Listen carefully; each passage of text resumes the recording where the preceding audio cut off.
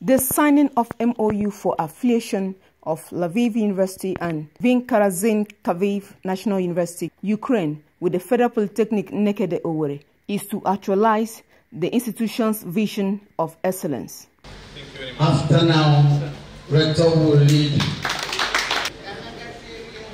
The Rector of Federal Polytechnic Nekede Owerri, Dr. Michael Arimanwa, expresses satisfaction with the development, stating that the partnership will be mutually beneficial.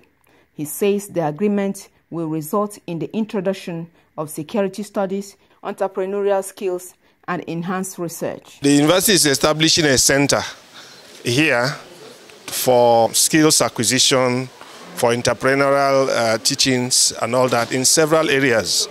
Um, we have already given them a space for that and this MOU will only Uh, enable them to equip it and run it. They were going to run the space using our local staff, but they will give us all that they want to be taught. I facilitated the relationship between the Federal Polytechnic, VN Karazin and Kharkiv University of Ukraine and the Lviv University of Business and Law Ukraine. The university will support the Federal Polytechnic in terms of research, seminars and workshops, local and international. Uh, of course, if when these institutions work together in terms of research, you can imagine the benefit to Nigeria as a country.